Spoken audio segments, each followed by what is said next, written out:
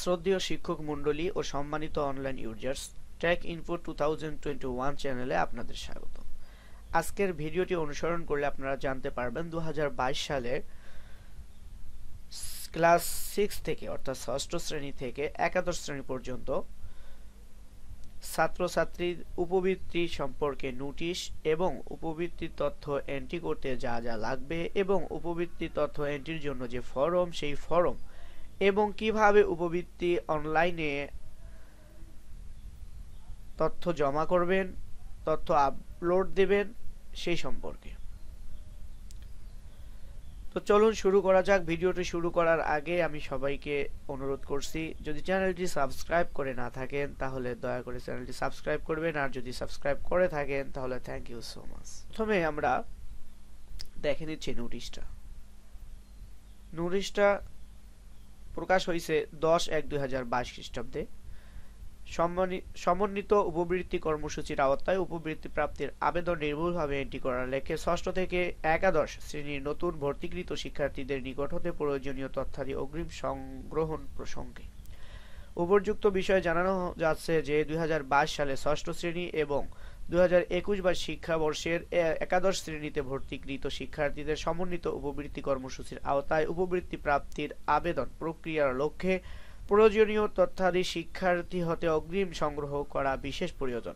চলতি বছরের ষষ্ঠ ও একাদশ শ্রেণির ভর্তি কার্যক্রম সম্পন্ন হওয়ার অব্যাহতি পরে এইচএসপি ও এমআইএস এ উপবৃত্তির জন্য আবেদনকারী শিক্ষার্থী তথ্য এন্ট্রির কার্যক্রম গ্রহণ করা হবে। উপবৃত্তির আওতায় আর্থিক সুবিধা প্রাপ্তির জন্য আবেদনকারী সকল শিক্ষার্থী তথ্য সব যথাসময়ে নির্ভুলভাবে এইচএসপি এমআইএস এ এন্ট্রি করার প্রক্রিয়াটি সুষ্ঠু ও নির্বিঘ্ন করার জন্য উপবৃত্তি নির্ধারিত আবেদন ফরম অনুযায়ী নিম্নবর্ণিত প্রয়োজনীয় তথ্যাদি অগ্রিম সংগ্রহ করার জন্য অনুরোধ করা হলো। উল্লেখ্য যে উপবৃত্তির জন্য শিক্ষার্থীর তথ্য এইচ এস পি এমআইএস এ এন্ট্রি করলে উপবৃত্তি প্রাপ্তির নিশ্চয়তা প্রদান করেন আবেদনকারী শিক্ষার্থীর প্রদত্ত তথ্যাদি এইচএসপি এমআইএস এর মাধ্যমে বিশ্লেষণ করে উপবৃত্তি প্রাপ্তির জন্য শিক্ষার্থীর নির্বাচন করা হয়। উপবৃত্তির তথ্য জমা দেওয়ার জন্য যা যা লাগবে, উপবৃত্তির তথ্য আপডেট করার জন্য, আপলোড করার জন্য যা লাগবে তা হচ্ছে এক নম্বরে লাগবে শিক্ষার্থীর জন্ম নিবন্ধন সনদের ফটোকপি সূত্র সংখ্যার। শিক্ষার্থীর পিতা ও মাতার জাতীয় পরিচয়পত্রের ফটোকপি দশ অথবা সত্র সংখ্যার। পিতা মাতার অনুপস্থিতিতে অভিভাবকের জাতীয় পরিচয়পত্রের ফটোকপি দশ অথবা সত্র সংখ্যার। পর পূর্ববর্তী শ্রেণির পরীক্ষার নাম, রেজি নম্বর, ফলাফল ও পাশের সনদের ফটোকপি প্রযোজ্য ক্ষেত্রে। শিক্ষার্থীর অভিভাবকের পিতামাতা অন্যান্য জাতীয় পরিচয়পত্র ব্যবহার করে। খোলা, সচল, বৈধ মোবাইল ব্যাংকিং অথবা ব্যাংক অ্যাকাউন্ট নম্বর পিতা অভিভাবক হলে পিতার জাতীয় পরিচয়পত্র ব্যবহার করে অ্যাকাউন্ট খুলতে হবে। মাতা অভিভাবক হলে মাতার জাতীয় পরিচয়পত্র ব্যবহার করে অ্যাকাউন্ট খুলতে হবে। সম্মানিত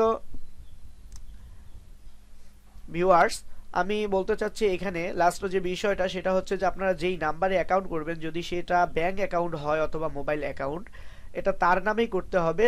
যাকে আপনি অভিভাবক বানাচ্ছেন। অবশ্যই অ্যাকাউন্টটি সেই অভিভাবকের এনআইডি দ্বারা খুলতে হবে। যদি এনআইডির সাথে আপনার অ্যাকাউন্ট নাম্বারটি না মেলে, তাহলে আপনার অ্যাকাউন্টটি অবশ্যই বাতিল করা হবে। তারপরে প্রাথমিক শিক্ষা অধিদপ্তর এবং বাংলাদেশ কারিগরি বোর্ডের অধীনে ভর্তিকৃত শিক্ষার্থীরা এই উপবৃত্তির কর্মসূচির আওতাভুক্ত হবে না। সংশ্লিষ্ট উপজেলা থানা মাধ্যমিক শিক্ষা কর্মকর্তা তার আওতাধীন সকল মাধ্যমিক, উচ্চ মাধ্যমিক শিক্ষা বোর্ড এবং মাদ্রাসা বোর্ড কর্তৃক অনুমোদিত স্বীকৃতিপ্রাপ্ত সকল শিক্ষা প্রতিষ্ঠানকে বিষয়টি অবহিত করবেন। সংযুক্ত আচ্ছা এই হলো নোটিশ। সম্মানিত ভিউয়ার্স উপবৃত্তির জন্য আবেদন ফরম। আবেদন ফরমের লিংক পিডিএফ আকারে ডেসক্রিপশন বক্সে দেওয়া থাকবে। আপনারা সেখান থেকে ডাউনলোড করে নিতে পারবেন। উপবৃত্তির জন্য আবেদন ফরম। আবেদন ফরমের যে তথ্যগুলো আছে, এই তথ্যগুলো সম্পূর্ণরূপে সঠিকভাবে পূরণ করে আপনার শিক্ষা প্রতিষ্ঠানে জমা দেবেন শিক্ষার্থীরা। তারপরে প্রতিষ্ঠান কর্তৃক এই তথ্যগুলো অনলাইনে জমা দেওয়া হবে, জমা দিতে হবে। আমরা এবার দেখব কীভাবে এই তথ্যগুলো অনলাইনে জমা দিতে হবে। অনলাইনে এন্ট্রি করতে হবে।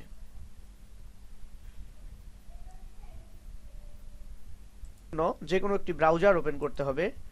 ব্রাউজার ওপেন করে উপরে সার্চ বক্সে লিখতে হবে http semicolon slash slash H S P BD dot com dot slash H S P capital letter তারপরে এই সেম এই যে তথ্যটা দেওয়া আছে অ্যাড্রেসটা এই অ্যাড্রেসটা লিখে তারপরে ইন্টার দেন। যে ওয়েবসাইটটি আসছে, এই ওয়েবসাইটে প্রথমে যে কোনো তথ্য, মাদ্রাসা অথবা স্কুলের সব তথ্য আপনাকে উপরের হারমোনাইজ, স্পেন্ড প্রোগ্রামে এন্ট্রি করতে হবে। তারপর স্বয়ংক্রিয়ভাবে মাদ্রাসাগুলো বৃত্তি মাধ্যমিক উচ্চশিক্ষা অধিদপ্তরে আপডেট মানে এন্ট্রি হস্তান্তর হবে এবং মাদ্রাসাগুলো মাদ্রাসা শিক্ষা অধিদপ্তরে হস্তান্তর হবে। কিন্তু আমাদের তথ্য সবাইকে হারমোনাইজ, স্পেন্ড প্রোগ্রাম, এই উপরের অপশনটাতে এন্ট্রি করতে হবে। আমরা এটাতে ক্লিক করলাম। এটাতে ক্লিক করার পরে স্ব স্ব প্রতিষ্ঠানের এনআইআই নাম্বার দিতে হবে। নিচে পাসওয়ার্ড দেবেন। পাসওয়ার্ড দেওয়ার পরে লগ করবেন।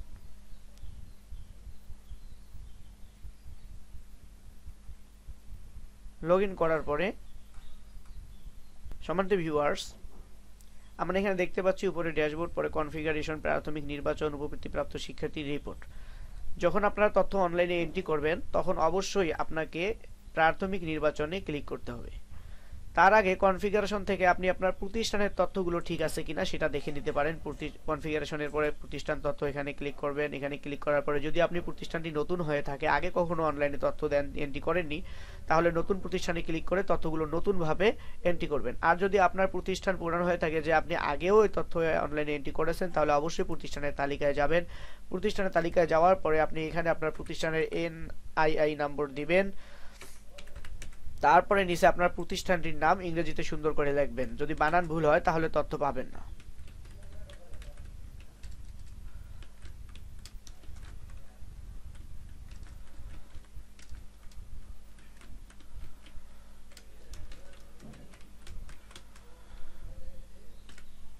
আমি লেখার পরে খুঁজুনে ক্লিক করুন। খুঁজুনে ক্লিক করার পরে আপনার প্রতিষ্ঠানের নামটি নিজ দিয়ে শো করবে। জাফরনগর ইসলামিয়া দাখিল মাদ্রাসা ঠিকানা তারপরে আপনি যদি চান আপনার প্রতিষ্ঠানের তথ্যগুলো নতুন করে এডিট করতে, তাহলে আপনি এই যে এডিট অপশন আইকনটাতে কলম যে আইকনটাতে এটাতে ক্লিক করবেন। এটাতে ক্লিক করার পরে আপনি তথ্যগুলো এখানে দেখবেন ঠিক আছে কি না। তথ্যগুলো সঠিকভাবে এন্ট্রি করা আছে, তাই আমি নিজে যাচ্ছি না। তারপরে সে পরবর্তী যাবেন, পরবর্তী পেয়ে যাবে যে তথ্যগুলো যেখানে যে যেভাবে দিয়েছে, সেই তথ্যগুলো হুবাহু আপনি একইভাবেই সেখানে সাবমিট করবেন। আর যদি যখন আপনি স্টুডেন্ট তথ্য এন্ট্রি করবেন, তখন প্রাথমিক নির্বাচনে যাবেন। প্রাথমিক নির্বাচনে যাওয়ার পর এখানে যে অপশনগুলো দেখতে পাচ্ছেন, প্রাথমিক শিক্ষার্থীর প্রাথমিক তালিকা। এখানে অবশ্যই নতুন শিক্ষার্থী এন্ট্রি বা নতুন শিক্ষার্থীর তথ্য এরকম একটা দ্বিতীয় অপশন আসবে। যেহেতু এখনও এন্ট্রি শুরু হয়নি, কয়েকদিন পরে এন্ট্রি শুরু হবে, সেজন্য তথ্যটা এখন শো করতেছে না। ইনশাল্লাহ আমি তথ্য যেদিন আপডেট করার নোটিশ আসবে, অবশ্যই আমি নেক্সট একটি ভিডিও আপলোড করে সম্পূর্ণরূপে তথ্য কীভাবে আপলোড করতে হয়, আমি সরাসরি আপলোড করে তথ্য এন্ট্রি করে দেখিয়ে দেবো ইনশাল্লাহ। আজকের ভিডিওটি এখানেই। সবাইকে ধন্যবাদ। আবারও রিকোয়েস্ট করতেছি, যদি চ্যানেলটি সাবস্ক্রাইব না করেন, দয়া করে চ্যানেলটি সাবস্ক্রাইব করে দিন। ভিডিওটিতে একটু লাইক দিন কমেন্ট বক্সে আপনার মতামত জানান। যদি কোনো প্রশ্ন থাকে, অবশ্যই কমেন্ট বক্সে লিখবেন। আমি যথাযথ উত্তর দেওয়ার চেষ্টা করব ইনশাল্লাহ। আল্লাহ হাফিজ।